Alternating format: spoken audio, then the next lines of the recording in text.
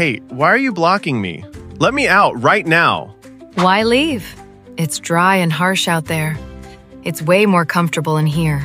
Just stay. Comfortable? You're crushing me. Can't you feel how tight this is? What's your deal? Are you trying to trap me forever? It's not my choice. The keratin keeps piling up around you. So, what am I supposed to do then?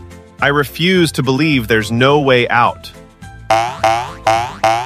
Wait, what's this forming? Why does everything feel so rough and bumpy? Doctor, my arms are covered in tiny bumps. What's happening? During winter, dry and dehydrated skin produces extra keratin as a protective response. This buildup blocks hair follicles, causing keratosis pilaris. Gentle cleansing and regular moisturizing can help smooth the skin. Want to know about Mr. Beast disease? Click the link below. Your symptoms may not match his, but it's worth learning how he fought it.